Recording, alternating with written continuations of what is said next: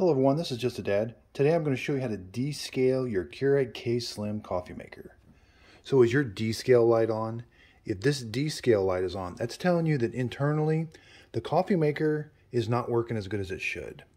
You're getting some buildup. There's a, there's a tank inside here that heats the water and it can get some calcium buildup on it. So is your coffee not tasting as good? Is it taking longer to brew? Or is it just not as hot as it used to be? These are all symptoms of your coffee maker needing descaled.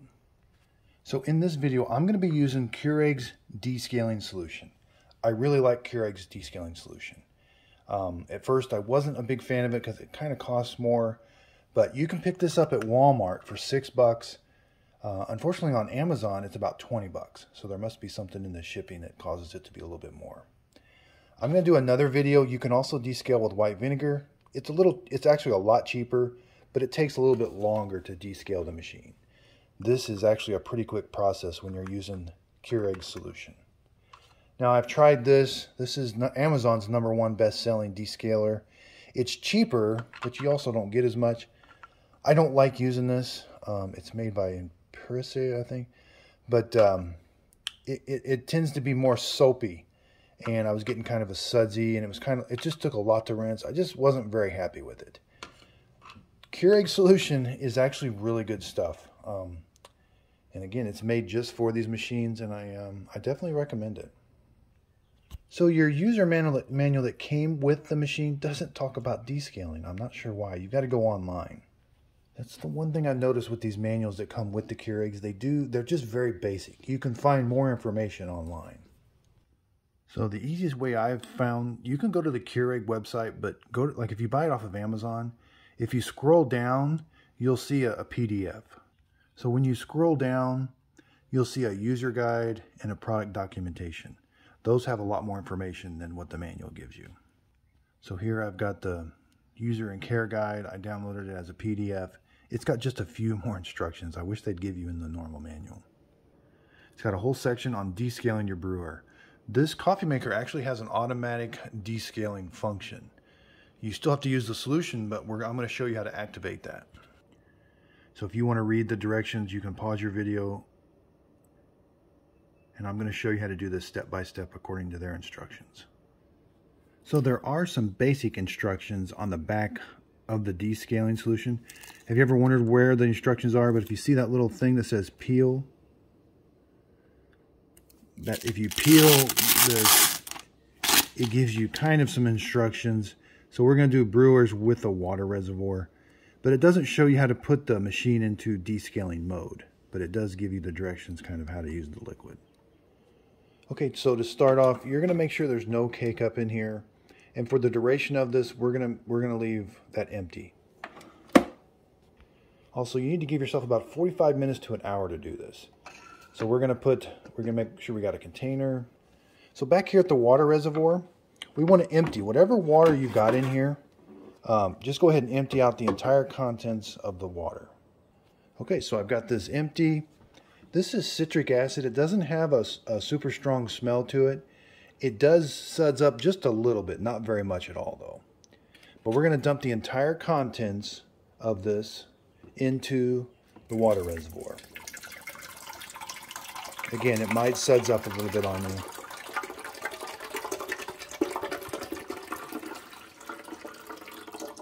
Okay, so there's about where it is right now. Now it says we got to take this over to the uh, sink. We're to fill this exact same bottle up with, with just fresh water. Okay, so I filled this up with just fresh water. Now we're to dump the fresh water in here.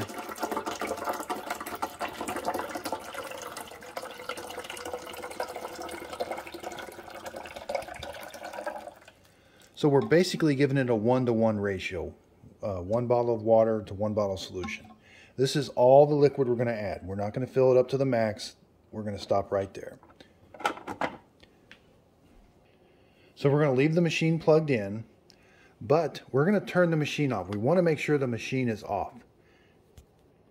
With the machine off, we're going to press the 8 ounce and the 10 ounce buttons together until the descale light lights up solid. Should be about three seconds. Okay. So the descale light is on solid now. And the K button's flashing. Now it says press the K button. Even though we don't, we're not going to touch the power button. The power button's not going to light up. This is called descaling mode. And we're just going to press the K button. Now that's going to brew the descaling solution through the machine and it's going to come out here. Make sure you got a container to catch it. And we're just going to throw that away uh, in the sink. So when I pressed that button, it went to solid. It was flashing. We're going to repeat this process. Um, when this is done brewing, I'm going to throw that away. I'm going to. This will start flashing again. I'm going to press that. We're going to do this until the add water light comes on. Again, be very careful that water is hot. Okay, so it ran about 12 ounces of water through it. I'm going to go throw this in the sink. I'm still in descaling mode. This started flashing again. My descale light's on steady. I'm just going to press the K button. And then that, what that's doing, it's probably going to do one more. It's going to run that descaling solution through here and clean out the machine. Okay, so after the second cup, the add water light came on. Again, we're not going to touch anything. We're still in descaling mode.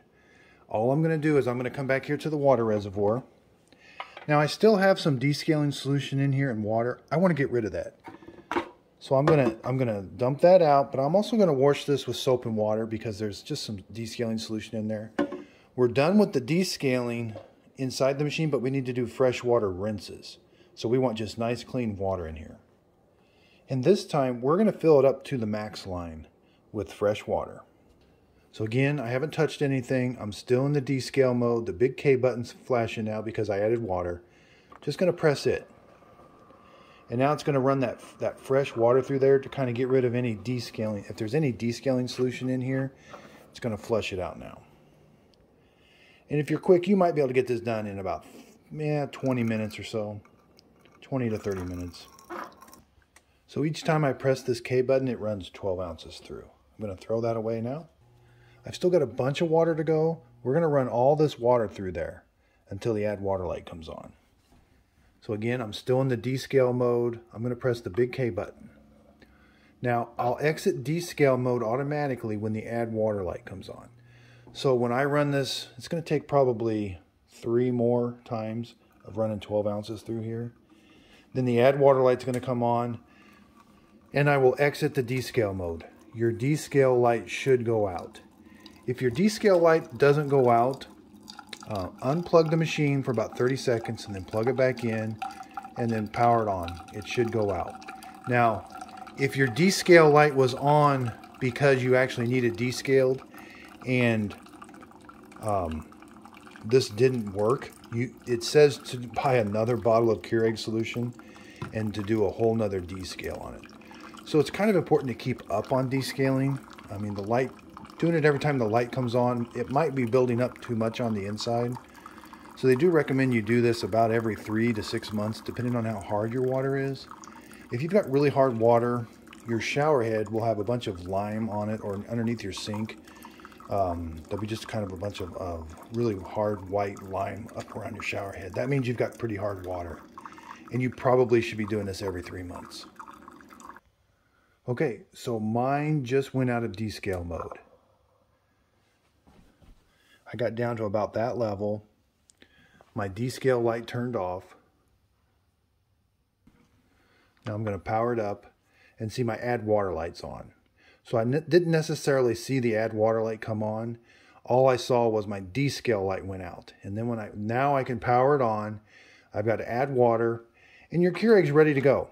They say fill it up with fresh water one more time and you're ready to brew a cup of coffee.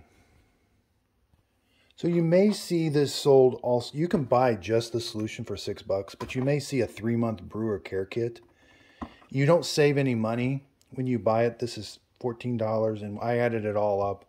But you do get some rinse pods, which are really nice to use. I do use rinse pods. Um, you put them in there and it rinses the needles and does a really good job of that.